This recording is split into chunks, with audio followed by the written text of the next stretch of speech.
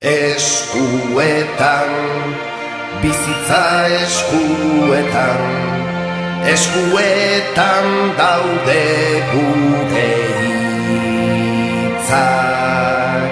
Eskuetan, bihotza eskuetan, gure esku dago